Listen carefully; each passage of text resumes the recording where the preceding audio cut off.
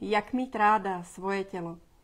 K tomuto videu mě inspirovalo několik otázek v klubu Láska je tvůj zdroj a považuji je za tak důležité a tak časté, že jsem se k ním rozhodla natočit veřejné video. Přečtu několik dotazů, které mi psaly ženy, co jsou se mnou v programu a klubu Láska je tvůj zdroj. Chtěla bych se zeptat, jak mít úctu ke svému tělu, jak si věřit a mít radost ze sebe, když je mládí pryč. Nebo jak mít ráda své tělo, když se mi nelíbí, jak vypadám. Nebo jak mít ráda své tělo, přijmout ho i s chybami. Celý život se tím trápím. Až to v 15 letech vyvrcholilo do anorexie. Přitom jsem nikdy nebyla obézní, ale nikdy jsem si nepřipadala dost štíhla. No a tady narážím i na problém v intimitě samozřejmě. Když jsem s mužem, musí být tma, aby mě neviděl nahou. Mám problém jít například do plavek. A také mám dcery a nechci, aby se trápili celý život podobně jako já.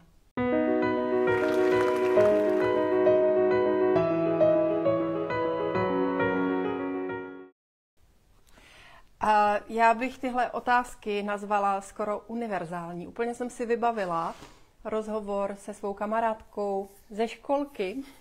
A tenhle rozhovor už je mnoho, mnoho, mnoho let starý. A ona sama trpěla anorexí. Říkala, já vždycky vařím pro celou rodinu, knedlíky, omáčky, ale jím sama něco úplně jiného. A vyprávěla mi, že spí s líčidly pod polštářem, tak aby její muž ji neviděl nenalíčenou a když jde do ložnice, tak se ujišťuje, že před mužem je tma, aby ji neviděl ve světle.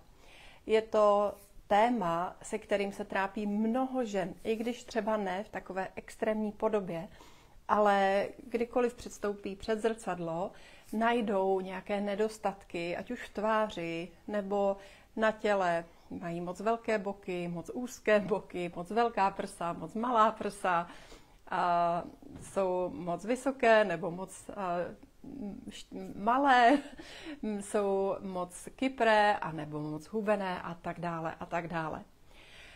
A proč se vůbec tohle téma vyskytuje v naší společnosti? Proč se mě hned několik žen během několika málo dní zeptá, jak mít ráda svoje tělo? Proč se mě vůbec ptají na něco, co by mělo být tak samozřejmé, tak přirozené? Protože je to něco, s čím my se nenarodíme. S tou myšlenkou, jak mít rád nebo ráda svoje tělo. A přirozené je, že své tělo využíváme a že jsme mu vděční a že ho vnímáme jako nástroj, díky kterému můžeme žít, chodit po světě, tvořit, hladit, předávat lásku a mnoho, mnoho, mnoho dalších věcí. Nicméně žijeme v době, kdy je nám předkládán určitý vzor krásy, což eh, ve výsledku platilo pro mnoho historických období, ale možná bychom mohli říct, že v dnešní době je to téma nějakým způsobem ještě palčivější. I když ten ideál krásy se vyskytoval v jakékoliv době. A dnešní ženy, které jsou štíhlé, by o pár set let zpět byly Eh, klasifikovány jako nemocné, jako vychrtlé, jako neženské a nepřitažlivé, protože ideál krásy se mění. A tady je skutečně důležité si uvědomit, že to, co naše společnost definuje jako krásu, jako něco žádoucího, jako něco estetického, je takzvaný společenský konstrukt. Je to něco, co jsme si sami vytvořili. Bohužel vlivem médií, sociálních sítí a zkrátka toho, jak na nás působí ten vnější svět nebo i naši vlastní rodiče a jejich příklad, tak můžeme vůči svému tělu vyvinout přístup, který vůbec, ale vůbec není podporující. Pojďme se na to podívat od začátku. Řekněme, že jsi holčička, která vyrůstá s maminkou a možná některé z vás, kdo teď posloucháte, máte zkušenost mámy, která už v průběhu svého života držela řadu diet. Možná jste ji slyšeli povzdychovat nad tím, že není dost hezká. Možná jste ji zažívali, že zatímco celá rodina jí něco, ona se snaží jíst něco jiného, aby zhubla. Pak na tebe mohou působit média. A chronicky oblíbený titulek e, z, ze stránek ženských magazínů je Hubneme do plavek. Je to takové heslo, které jste jako ženy snad ani nemohli neslyšet. Jakoby nebylo dost dobré vlézt si do plavek s tím tělem, které máme. A tyto zprávy, tato poselství velmi silně působí i na naše podvědomí. A jako dívky, zejména jako dívky, chlapci do určité míry, ale vůči ženám je tento standard eh, mnohem, mnohem eh, takový drsnější a přímočařejší, tak jako dívky zažíváme mnoho poselství, které se týkají toho, jak bychom měli vypadat a jak bychom se měli projevovat, jak bychom se správně měli oblékat, jak by mělo vypadat naše tělo, tak, abychom tomu světu vyhovovali, tak, abychom se ostatním líbili. A bohužel tuto perspektivu mnoho děvčat podvědomně převezme a pak se na sebe začneme dívat tím pohledem zvenku.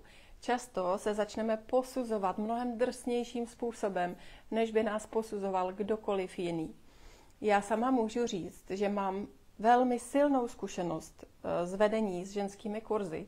Kdykoliv přijde na téma krásy, tak často ty objektivně velmi krásné ženy ve skupině eh, si vůbec nepřipadají hezké. A tím chci vyjádřit, že někdy to, jak vypadáme, vůbec nesouvisí s tím, jak se cítíme. A to, že nám někdo řekne, ale ty jsi krásná, vždyť jsi úžasná, vždyť jsi nádherná. A ta žena řekne, no, ale mám moc tenké vlasy, mám moc velký nos, mám tady špíček a tak dále a tak dále a tak dále. Zkrátka, to, jak se žena cítí, jak si připadá ona sama, mnohdy vůbec, ale vůbec nesouvisí s realitou nebo s tím, jak ji vnímá její okolí. A teď, jak se vůbec dostat do té perspektivy, že se začneme cítit krásné a spokojené ve svém těle.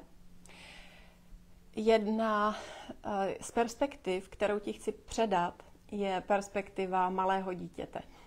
Když jsi maminka, tak tvé dítě, ať už miminko nebo malé dítě, se na tebe rozhodně nebude dívat optikou nějakého pomyslného ideálu krásy. Bude tě vnímat eh, pro tvou vůni, bude vnímat měkost tvého těla, bude vnímat, jak krásně a příjemně je v tvé náručí.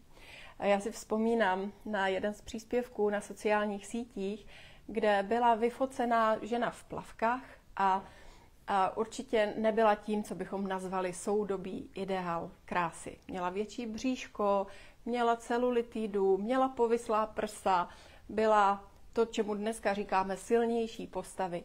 A ta žena, která tento příspěvek se svou vlastní fotografií, která, řekněme, podle objektivních standardů nebyla úplně líbivá, ona tu fotku zveřejnila s příběhem.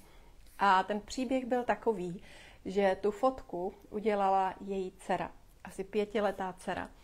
A ta dcera říkala, maminko, ty jsi tak krásná. Já miluju tvoje tělo, jak je měkké, jak je voňavé, jsi nádherná. A možná i řada dalších z vás máte zkušenost s tím, že vás vaše děti obdivují, že vaše děti milují vaše tělo víc než vy sami. A to je jedna z perspektiv, kterou je obrovsky důležité si uvědomit, protože na té lidské úrovni je pro nás velmi důležité a skoro bych řekla rozhodující, jaký je ten pocit z našeho těla, jaká je funkce našeho těla. A to může být hřejivá náruč, to můžou být kojící prsa, to může být pohlazení, obejmutí a prožitek při milování.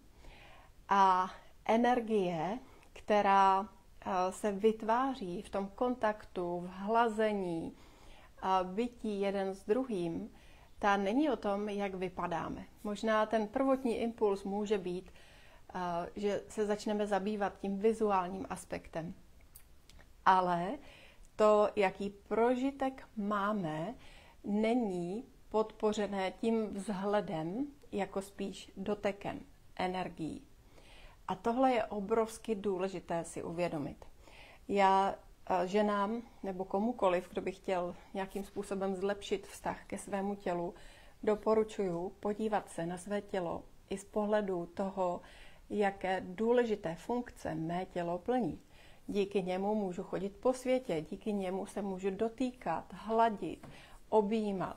Díky tělu se můžu dívat na svět, můžu slyšet, můžu uh, vařit, psát, řídit automobil a, a, a mnoho, mnoho, mnoho dalších věcí.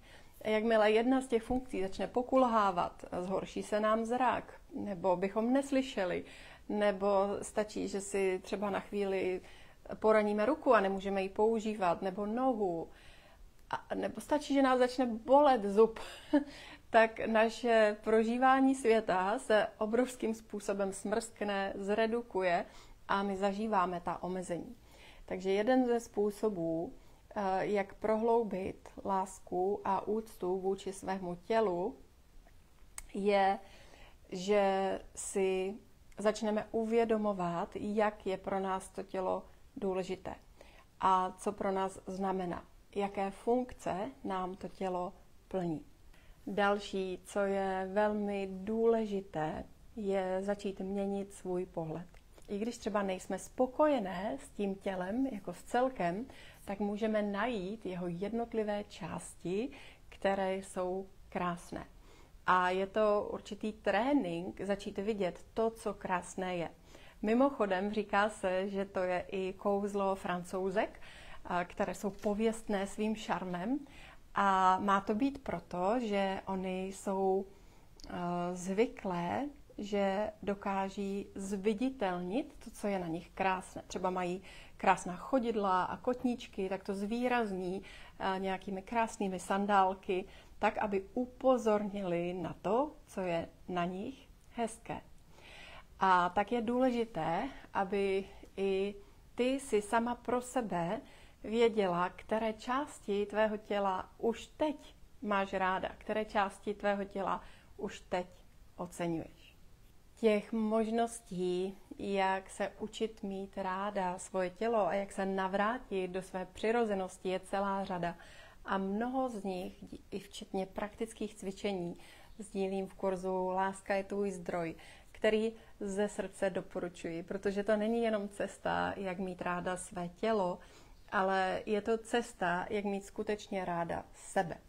A mnoho žen ani mužů vlastně neví, co to vůbec znamená, protože jsme se naučili sami sebe posuzovat, odsuzovat, kritizovat, ale jaké to je, když se zakotvíme v sobě, jaké to je, když jsme sami pro sebe tou největší oporou, jaké to je, když cítíme hluboce v sobě klid a stabilitu, jaké to je, když dokážeme procházet i náročnější období našeho života a ty takzvaně nežádoucí emoce, jako může být smutek nebo frustrace, aniž bychom přitom opouštěli sami sebe, aniž bychom se sami sebe vzdali, aniž bychom sami sebe posuzovali a odsuzovali. A tohle je dovednost, která je nám přirozená, ale kterou se často v průběhu života odnaučíme. Nicméně nikdy, nikdy není pozdě na to, abychom se k tomuto vrátili a naučili se prožívat sebe a díky tomu i svět úplně nádherným, svěžím způsobem, ve kterém cítíme vnitřní klid, ve kterém cítíme vnitřní plnost a hojnost, ve kterém cítíme, že máme sílu procházet někdy i náročné situace a náročná období aniž bychom ztráceli sami sebe, aniž bychom ztráceli půdu pod nohama. A světe div se, když se tímto způsobem změní to, jak prožíváme sebe, tak se začne měnit mnoho dalších aspektů našeho života. Já bych řekla všechny aspekty našeho života. Začnou se měnit naše vztahy, začne se měnit to, jak k nám přistupují druzí, jak si nás váží, jak si nás cení, jakou pozornost nám dávají. Pro nás se mnoho oblastí velmi usnadní, protože už neprožíváme nějaké pnutí, když potřebujeme o něco požádat. Necítíme se špatně, když se potřebujeme vůči něčemu vymezit. Je pro nás přirozené stát si za svými potřebami i přáními. Dokážeme si dobře a s lehkostí v uvolnění nastavit hranice a současně dokážeme v uvolnění a lehkosti požádat o to, co potřebujeme a co vítáme. A i ta část, kdy s láskou a vděkem vnímáme své vlastní tělo, je přitom obrovsky, obrovsky důležitá. A já na závěr prozradím ještě jeden obrovsky důležitý aspekt toho, jak mít rád nebo ráda svoje tělo.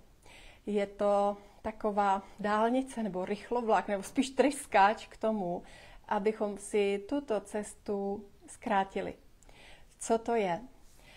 Je to cesta přes potěšení.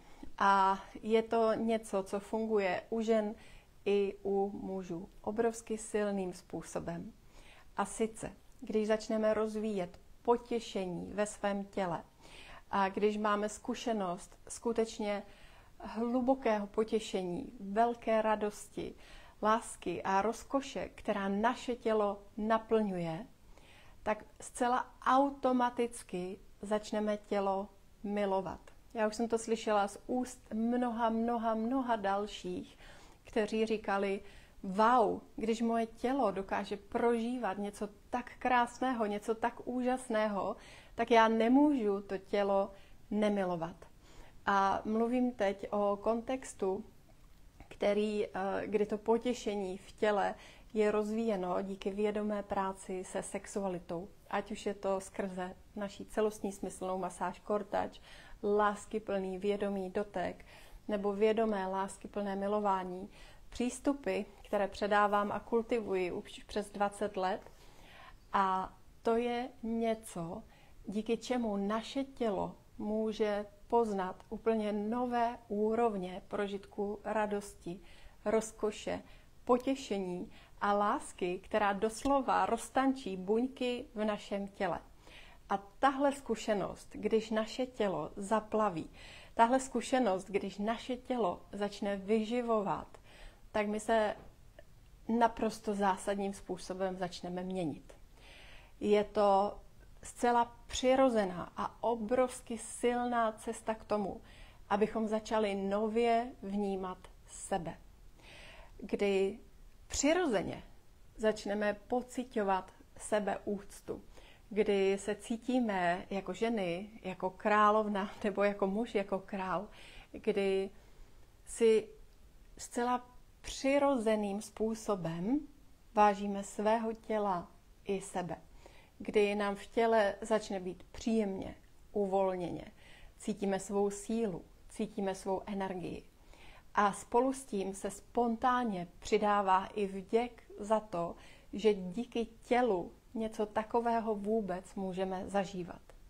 Vlivem toho i velmi přirozeně se začne měnit naše péče o vlastní tělo. Protože taková zkušenost může být něčím, co přepíše, jak ke svému tělu přistupujeme.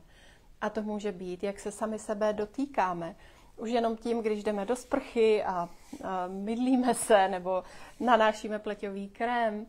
A může to být to, jak a, o své tělo pečujeme i ve formě oblékání a vůbec ta kultivace těla, která se potom neděje s takovou tou perspektivou, musím zamaskovat, jak hrozně vypadám. Jo? A mnoho žen se třeba líčí proto, aby skryly nějaké nedostatky či domělé nedostatky ve své tváři, obléká se tak, aby skryly opět nějaké nedostatky do toho oblečení a tohle není dobrá perspektiva na oblékání se. Pokud se líčím a oblékám tak, abych skryla to, jak nejsem hezká, tak si každý den zapisuji do svého těla tohle poselství, nejsi dost dobrá, nejsi dost hezká. A to je peklo. Ale tím vůbec neříkám, že bychom o své tělo neměli pečovat, že bychom se neměli líčit, že bychom se neměli krásně oblékat, ale s jinou perspektivou. Když se jdu nazdobit, ať je to tvář, nebo vlasy, nebo tělo, dělám to s tím láskyplným aspektem péče a takové oslavy těla. Já to tělo oblékám, abych ho oslavila, abych uh, ještě víc podpořila tu jeho krásu a záři. Je to jako když byste měli nějakou krásnou květinu a jenom byste ji tak jako položili do kýble s vodou někam do rohu místnosti, tak je to něco jiného, než když pro tu květinu zvolíte krásnou křišťálovou vázu a vystavíte ji na nějaké čestné místo, kde může opravdu vyniknout. A podobně je to i s naším tělem. Pokud na sebe oblečeme nějaký pomyslný pytel, jo, můžeme stále vypadat dobře, ale i to, jakým způsobem se oblékneme, jak vlastně to tělo necháme rozzářit, jakým způsobem ho vystavíme, hraje velkou roli. Takže i na tohle můžeš myslet, že i to tvoje tělo je taková květina, kterou buď to můžeš dát někam do rohu, do kýble s vodou, anebo ještě bez vody, a to ještě horší, a nebo tu krásu té květiny zvýrazníš v nádherné křišťálové váze, kterou dáš na čestné místo a pravidelně o tu květinu budeš pečovat, budeš doplňovat čerstvou vodu a tak dále a tak dále. Takže stejným způsobem můžeš pečovat i o své tělo a o svou krásu. A v tomto smyslu krása je především ten aspekt vnitřního pocitu. A když se cítíme sami v sobě krásní, tak my tu krásu skutečně i vyzařujeme na venek. A to je něco, co můžeme podpořit nezávisle na tom, jak naše tělo vypadá. Navíc ve chvíli, kdy skutečně prohloubíme lásku a úctu vůči svému tělu, tak nás to inspiruje, abychom o to tělo skutečně dobře pečovali, abychom mu dopřáli dostatek spánku, abychom mu dopřáli adekvátní výživu, potravu i hydrataci.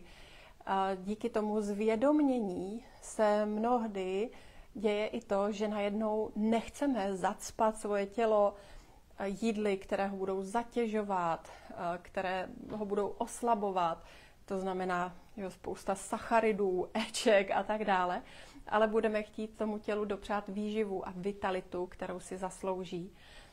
Dopřejeme tělu pohyb na čerstvém vzduchu, dopřejeme mu aktivitu, díky kterému se ve svém těle budeme cítit ještě zdravější a živější a vitálnější. Tohle všechno vyvěrá z lásky k tělu.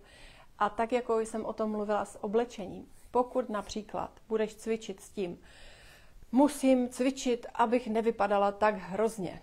Musím cvičit, protože vypadá hrozně. Jo? A, tak to je opět dost uh, toxická motivace, protože při tom cvičení si do svého systému ukládám, nevypadáš dobře, nevypadáš dobře, nevypadáš dobře. Ale pokud se budu věnovat cvičení nebo nějakému zdravému pohybu s tím, že s láskou pečuju o svoje tělo, že se v tom těle chci cítit dobře, že chci mít flexibilitu, sílu, vitalitu, že chci, aby mi to tělo vydrželo do vysokého věku, té vitalitě a zdraví, tak je to jiná motivace. A to, co máme v hlavě, velmi silným způsobem, pak určuje naše prožívání. A i na tohle mysli, když se budeš pohybovat, tak stejně jako když se budeš zdobit, dělej to s tím, že chceš podpořit zdraví a vitalitu a příjemný pocit ve svém těle. Vnímej to, že je to i takové poděkování tomu tvému tělu. Pokud si poslouchala či poslouchal pozorně, tak uh, můžeš vnímat, že hodně mých doporučení se týká toho, nedívat se ani tak na vzhled těla, jako hlavně a především na pocit v těle a na jeho funkce a na rozvíjení aspektu radosti a potěšení, které ve svém těle můžeme prožívat. Měj má slova na paměti, připomínej si je každý den a já ti garantuji, že když se tohoto budeš držet, tak postupně, krůček za krůčkem, se začne měnit i tvůj přístup nejen ke tvému tělu, ale vůbec k tobě, ke tvému prožívání, to, jak žiješ. A víc a víc si budeš dokázat dopřát to, co tě skutečně vyživuje, to, co ti skutečně dělá dobře. A pokud si ode mě přeješ víc inspirace, nejenom k tématu těla a lásky k tělu, ale vůbec k tomu, jak se posílit, ozdravit a rozvinout ve všech aspektech tvého života, tak pro ženy mám pozvánku do svého kurzu a klubu Láska je tvůj zdroj. Je to program a platforma, která mění životy. Je to formát, který si můžeš procházet svým vlastním tempem, ale současně zažívat mou aktivní podporu a i odpovědi na tvé otázky. Díky prožitkům a meditacím nezůstává pouze o uvědomění, ale je to o tom, že se něco začne měnit v tobě, v tvém těle, v tvém prožitku. A navíc díky tomu vstoupíš do prostoru a komunity žen, který tenhle prostor je obrovským způsobem podporující. Zjistíš, že na spoustu věcí nejsi sama a v tom sdílení se rozvíjíme a je nám mnohem, mnohem lépe. Pokud uh, si zvědavá, běž se podívat na Láska je tvůj zdroj.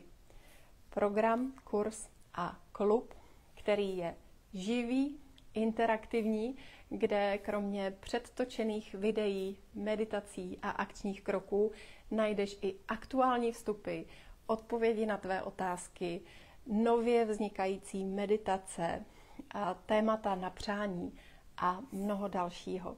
Já jsem tuto platformu vytvořila pro ženy tak, aby měly podporu ve svém každodenním životě, ve svém domově, nezávisle na tom, kde jsou na světě. A věř mi, že je to něco jiného než běžný online kurz. Je to živá platforma vzájemné interakce a podpory. Je jako když cítíš, že někdo je s tebou. Je to místo, kam si můžeš přijít pro radu, kam si můžeš přijít postesknout, když je ti těžko a kam současně můžeš přijít i oslavovat své posuny a úspěchy. A zrovna tak se i inspirovat z těch posunů ostatních žen. Protože když vidíš, co je možné pro někoho jiného, tak je mnohem jednodušší pak uvěřit, že podobné i větší změny jsou možné i pro tebe. Já ti moc přeju, aby i z tohoto videa, které si právě vyslechla nebo vyslechl, si měl či měla co největší užitek a abys eh, svůj život prožíval či prožívala v co největší radosti, plnosti a významu. Protože náš život může být krásný a měl by být krásný. A je důležité, aby tě tvůj život bavil a aby ti dával smysl. To neznamená, že ho pořád jenom procházíš s úsměvem na rtech, všechno je růžové a zalité sluncem, ale znamená to, že máš v sobě vnitřní sílu být tvůrce. A že i když přichází náročné okamžiky v životě a ty patří k lidské existenci, k tomu, že jsme lidé, patří i ztráty, odchody milovaných lidí, další formy ztrát a tak dále. Ale to neznamená, že by to pro tebe měla být devastující zkušenost. Ty můžeš mít v každém okamžiku svého života vnitřní sílu, vnitřní zakotvení a nestrácet kvalitu tvůrce, protože je na tobě, co ze svého života uděláš. Je na tobě vytěžit třeba i náročné zkušenosti a ztráty, které si prošla či prošel. A skrze svůj život tak možná i inspirovat ostatní, ať už jsou to tvé děti, tvá rodina, tví přátelé nebo širší okruh lidí.